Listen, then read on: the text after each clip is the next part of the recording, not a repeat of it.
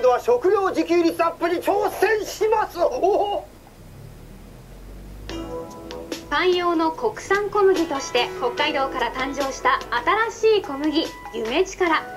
生産者である勝部さんの地元栗山町ではその夢力を早速取り入れているお店がありました。地元栗山の素材にこだわるパン屋さん沢屋さんです。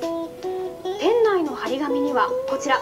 勝部農場の文字、はい、夢力が使われているのは食パンのみなんですが100%夢力で作っているんです。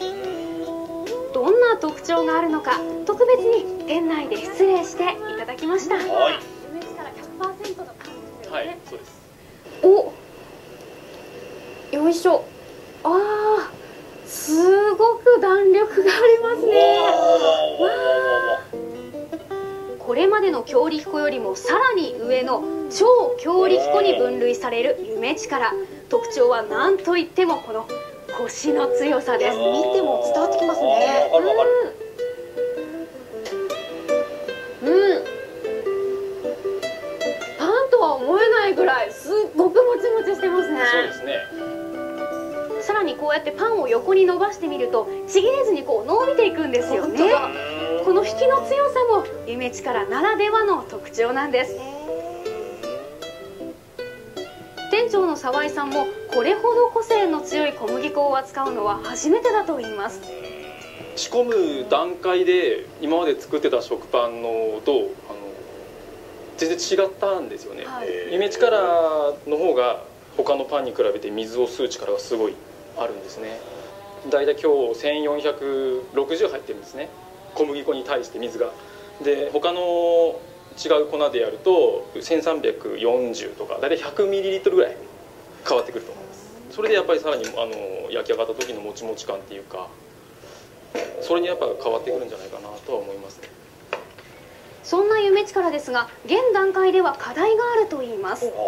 まだ夢力っていう品種自体が試験栽培の段階で一月ずっと出せる量がまず入ってこないんですね、はい、夢力自体の小麦粉の値段がすごい高くてあのうちで使ってる、まあ、一般用一般のねあのパン用粉の1.7倍ぐらいするんですね。来年収穫量が多くなると今の価格がもう少し安くなればねあの、まあ、うちだけじゃなく他のパン屋さんも例えば夢力を使ったパンが出たり北海道を代表する小麦になるんじゃないかなっていう気持ちはやっぱあります。夢力は札幌駅にもありました。はい。道内の特産品を揃えるお店北海道どさんこプラザ札幌店です。あこれですね。はいこちらになります。夢力ブレンドってこれしっかり書いてありますね。はい。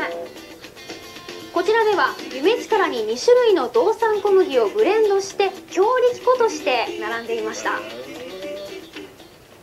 売れ行きってどうですか？道産小麦の強力粉ということではいおこ買われてらっしゃると思います、はい、っていうことは夢力っていう名前自体は、これからだと思います。夢力が今後普及していくには生産量や価格の問題そして知名度とまだまだ課題があるようですしかし道内の農家さんの間では今夢地からの本格栽培への動きが起き始めているんです。すでに今年秋の作付けを道内全体で1000ヘクタールに拡大。来年夏には5000トンが収穫される予定なんだそうです。この日札幌に生産農家の勝部さんの姿がありました。今日はですねあの夢力をねあの栽培してする農家さんが、まあ、あの初めて作る方がたくさんいるんでそれであの栽培技術について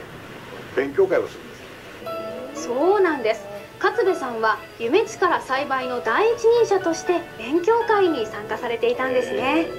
会場には帯広や南方町の生産者さんも集まりました。町や地域を超えてコミュニケーションを取ることも大切だと勝部さんはおっしゃいます普及するにはねやっぱりいい品質を、ね、出さないと、ね、初年度からあのこけてたら、えー、まあ、大変だからみんなによく夢力の特性を覚えてもらって良い品物を出したいなと。勝部さんの経験は若い生産者の方たちに伝わったのでしょうか勉強会を終えてみての感想を伺いましたいい麦を作らないということだけは間違いないんだからということで、まあ、そういうことであの栽培技術の話については、まあ、それぞれ質問もたくさんあったし、まあ、真剣に聞いていたというのが僕の感想です。やっぱり夢力っていうのはあのなんとなくねあの勇気を与えてくれるというかそういういい名前ですよね。本当にそうですね、課題もあるけれどもやりがいもあるっていうことなんでしょうね。でもあの拝見しててこうパン食べる時皆さんどうですか？どこの小麦を使ってるんだろうなんて思ったりしないです普段はね、ね、自給率ってのはもっともっと関心を持たなきゃいけないこと私も含めてですよ、はい、あとねご紹介した勝部さん次につながる農業をしっかりと考えてらっしゃるっていうのは本当に感心しました。伝わってきますよね、あの私たちが買い物をするときに何を選ぶかによってもしかしたら食料事情って変えられるのかもしれないなと思います。し、ね、そういうふうに考えるとじゃあもっとね私たちも食に関心を持って生産者の思いを受け止めることも必要ですね。はいですから今回はまず夢力という小麦があるんだということを皆さんに知っていただきたいなと思います、はい、そしてこの夢力っていう名前とっても素晴らしいですよね。明るい名前で勝部さんは夢のある力持ちと表現されていました